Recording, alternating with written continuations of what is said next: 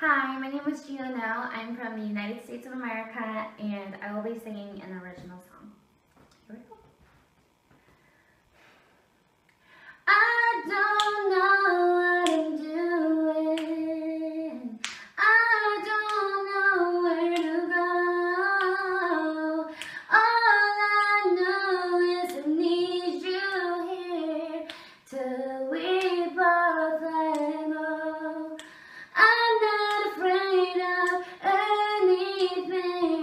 When you hold me close and you let me be. You're one and only, you're everything.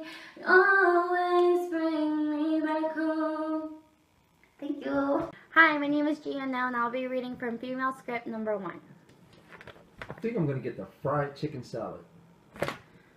You can't be serious. I'm not. Oh my god. What? It's really good here, and they're arranged to look like a cute little owl. Just because it looks like an owl doesn't mean it has less calories. But it does mean more cuteness. Okay, we need to talk.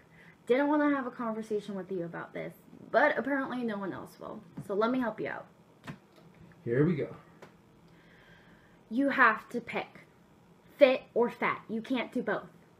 Fit or fat? You're getting married in eight months. That means you'll have your first fitting in five months, which means you need to pick fit or fat. I'm really not following. One cute looking salad isn't going to make me fat. I'm perfectly healthy right now. Of course not. I know you're not. But this is Sam's family we're talking about. They all look like Ken dolls. So you need to look amazing. Amazing, like Michelle Obama's arms amazing.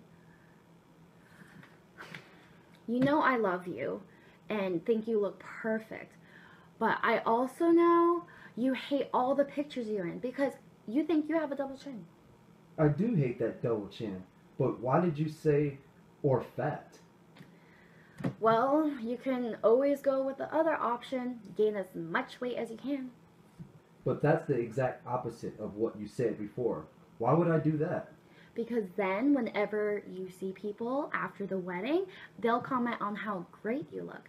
It's like a future's investment in compliments.